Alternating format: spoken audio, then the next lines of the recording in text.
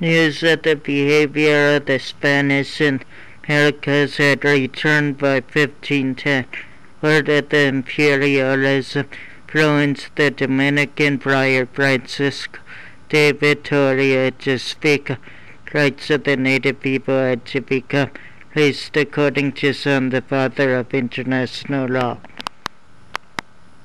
Not much is known about Vitoria's life while he was growing up. He was born about 1492 and entered the Dominican Order 1504. He was educated at later theology the St. Jacques College in Paris.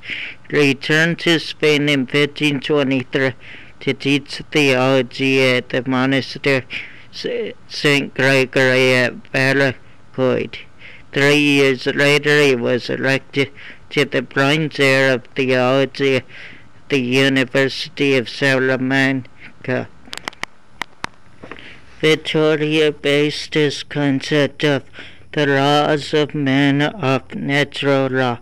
Natural law is the belief that humans are endowed with certain rights by the sheer act of existing, that God has so structured the human mind that such rights can be discovered without divine revelation. Aristotle wrote in the Politics that certain people were natural slaves, lacking in reason and the ability to govern themselves. Vitoria rejected that belief on grounds that it contradicted Christian theology. The function of reason was to bring humans to God reason that how could there be large groups of people that were created without reason?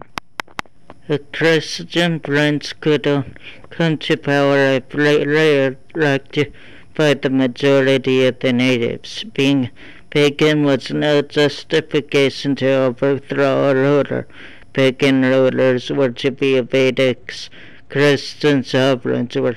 Vitoria noted that the passages Book of Romans to obey secular authority were written during the reign of the pagan emperor Nero.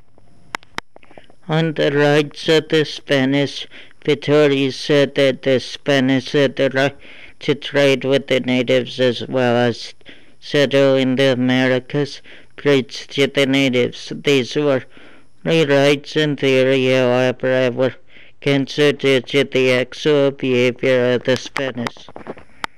Given the historical backdrop, it seems no coincidence that Vitoria is also known for his contributions in the war tradition, limited just cause to protecting censor self-defense, extend the doctrine of proportionality devised by St. Thomas Aquinas Vitoria wrote that it is not lawful to prosecute those who committed trivial offenses through war, since the harm caused by war would inevitably be too great. Vitoria's major contribution to his idea of invincible ignorance, according to the scholastic view of war, one side could be just. Invincible ignorance is non-just war has the appearance of being just. What makes principle ignorance its contribution is its implications for both jus ad bellum and jus in bellos. A major element of the just war tradition is that war must be declared by a legitimate authority the sovereign in Vitoria's case. Presumably this to ensure that war would be only entered into as a last resort, so any lower authority could appeal to a higher one. Objection to the just war theory general is that almost any justification could be used. That invincible ignorance just makes it that easier since a clever sovereign could declare war for any reason and say that he believes he has a just. Perhaps Vitoria anticipated this objection. He wrote that the belief of the sovereign isn't enough.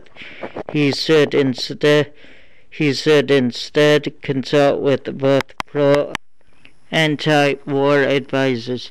His student Medina later refined this into probabilism, where justification was judged to be plausible or not.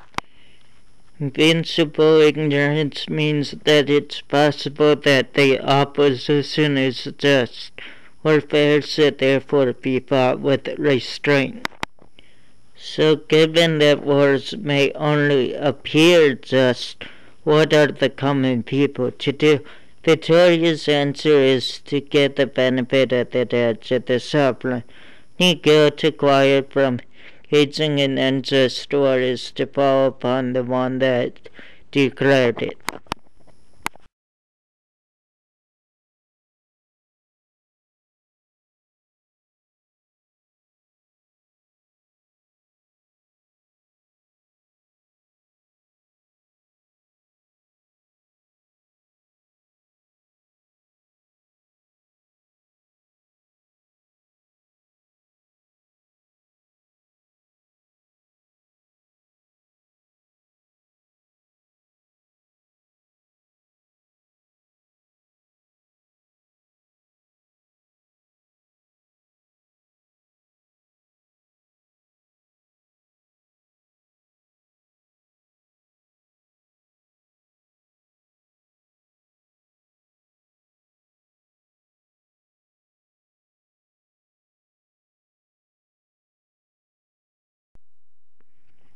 News that the behavior of the Spanish in Americas had returned by 1510, or that the imperialism influenced the Dominican friar Francisco de Vitoria to speak rights of the native people had to become least according to some the father of international law.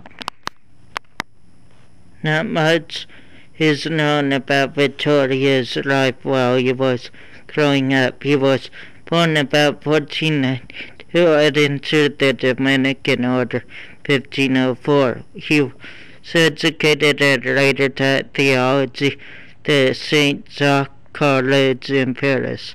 He returned to Spain in 1523 to teach theology at the monastery St. Gregory at Valladolid.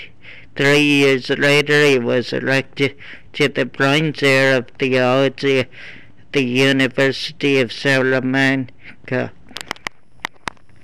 Vitoria based his concept of the laws of man of natural law.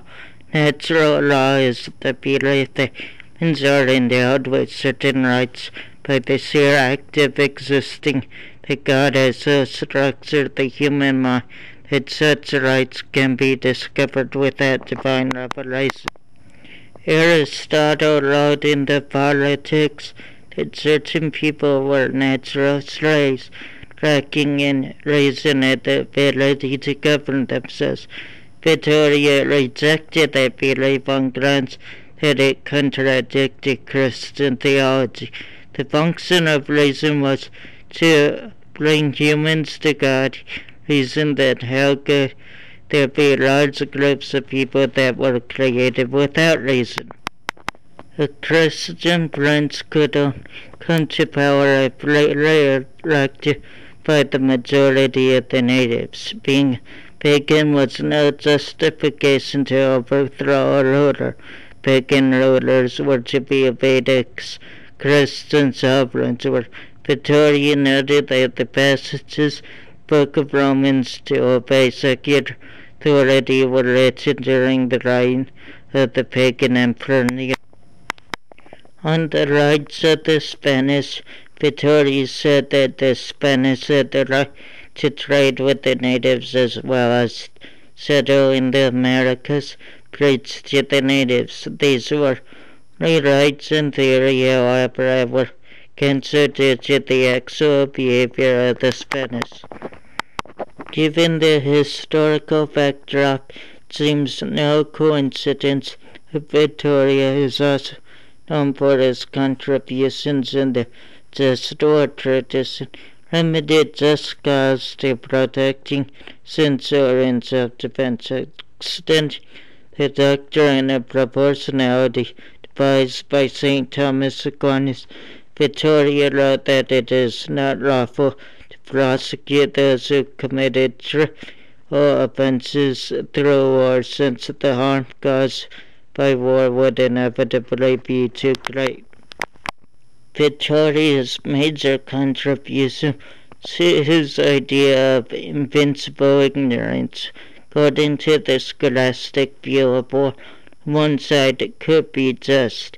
Invincible ignorance is an unjust war has the appearance of being just. What makes invincible ignorance its contribution is its implications for both jus ad and jus in bellos. A major element of the just war tradition is that war must be declared by a legitimate authority, the sovereign in Vitoria's case. Presumably this to ensure that war would be only entered into as a last resort so any lower authority could appeal to a higher one. Objection to the just war theory general is that almost any justification could be used. That invincible ignorance just makes it that easier since a clever sovereign could declare war for any reason say that he be lazy as a just cause. Perhaps Vitoria anticipated this objection he wrote that the belief of the sovereign isn't enough. He said instead he said instead consult with both pro anti-war advisors. His student Medina later refined this into probabilism, where justification was judged to be plausible or not. Invincible ignorance means that it's possible that the opposition is just. Warfare should therefore be fought with restraint. So given that wars may only appear just, what are the common people to do? Vitoria's answer is to get the benefit of the doubt to the. Nego to quiet from Hitching an war is to fall upon the one that declared it.